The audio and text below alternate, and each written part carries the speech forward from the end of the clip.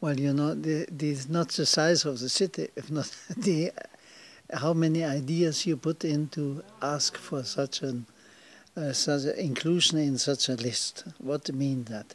You have so many intelligent people here. Put it on a piece of paper.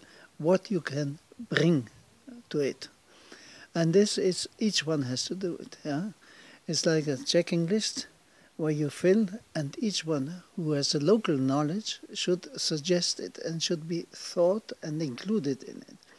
And as I mentioned before, due to the different historic historical events and the ethnic and cultural movement coming here, even from the uh, Austrian-Hungarian monarchy, you have still a huge uh, um, backing of those times you put that together and you will see you're a very interesting location, yeah.